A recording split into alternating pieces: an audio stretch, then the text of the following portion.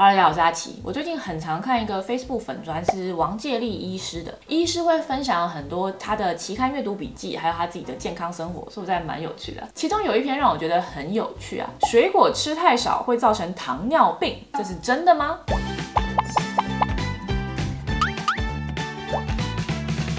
个是今年四月才发表在重量级期刊 Nature Medicine 上面的研究，分析一百八十四个国家的饮食习惯，把十一个因素列出来排名，并详细去比较年龄、性别、地区等造成的影响。那这份报告认为呢，造成糖尿病最危险的因子是全谷物吃太少，再来是精致谷物吃太多，再来是加工肉品还有红肉吃太多。有趣的是，优格吃太少的影响居然比含糖饮料还要高，水果吃太。太少的影响呢，也比坚果还有蔬菜摄取不足的影响来得高哦。那以台湾所在的东亚地区而言，就是橘色这根亚洲国家最大的问题就是精白米吃太多，全谷物吃太少。那再来就是吃很多红肉跟不吃优格。那要注意的是，马铃薯虽然是原型食物，但它淀粉很多，营养少，所以一般认定的影响是比较负面的。精致谷物，比方说白米，因为不像全谷有那么多。营养，但还是有很多淀粉跟热量，一般的认定也是比较差的食物。另外，水果跟果汁是不一样的，啊水果是原型食物，富含植化素跟膳食纤维，所以你吃两颗苹果可能就饱了。那果汁就不一样啊，它把这些固态的东西都滤掉了，所以喝果汁可能会不知不觉喝下八颗、十颗苹果的糖量。所以水果是好的，果汁是不好的。这份报告不得不说令人很意外啊，精致淀粉造成糖尿病，这我可以理解嘛，有糖没营养，医生都会说少吃啊。但是全谷物跟水果其实淀粉跟含糖量都不低啊。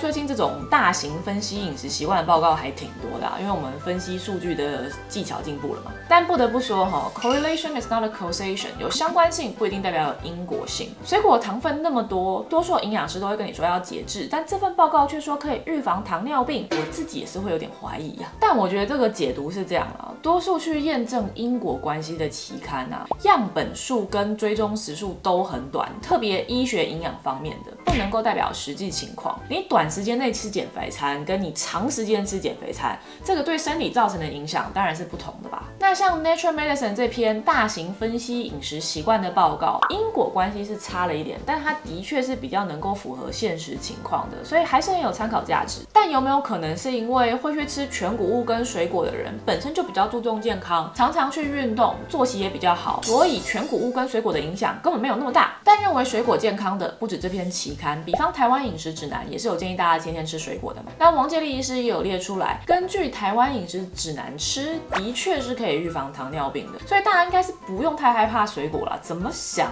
应该都比吃精致甜点好吧。所以我自己是不会害怕吃水果的，只要注意节制，不要吃太多就好。另外，台湾人的饮食习惯啊，普遍蔬果跟乳品吃的不够够多，但是精致谷物坚果却吃太多了，所以这点大家可以注意一下哦。另外，Natural Medicine。这个期刊很有趣的啊，是一九九零年跟二零一八年的对比，三十年间亚洲糖尿病的风险大幅上升，最大的影响是来自于红肉。那精白米可能自古就吃蛮多的，啊所以影响反而是变少的。这跟我们之前分享的全球饮食习惯那个期刊不一致啊，那份报告也是分析一百九十五个国家，但认为红红肉的影响是很低的。那红肉一般被认为不好呢，是因为它有饱和脂肪跟胆固醇，可能引发。心血管疾病居然会引发糖尿病，好像是没有什么道理。不过有这样的发现，其实真的不止这个研究，有蛮多研究都有观察到，红肉吃得多的人，的确糖尿病的风险会上升。但是重量级期刊 Nature 上的研究认真分析后就说呢，找不到红肉跟糖尿病的相关性。但是他也不去否认说啊，的确很多人关查到吃红肉多的人比较容易得糖尿病，只是这个背后的机制是什么呢？值得更进一步的研究。那其实很多科学研究真的都是这样啊，我们不确定成因，但大型分析的报告还是很有参考价值的。那如果你不确定怎么吃，摄取足够的营养，天然食物、全食物可能会比避开有伤害性的含糖饮料还要来得更重要哦。好，那我们今天到这边，今天就是想要告诉大家呢，correlation is not causation。这种大型饮食分析的报告呢，的确没有什么因果性，但还是很值得大家参考的。营养学的结论虽然常常在变，但是原型食物、全食物，不吃精致加工食品是绝对。安全的好法则，那可以不用太害怕吃水果，不过记得要适量与节制哦。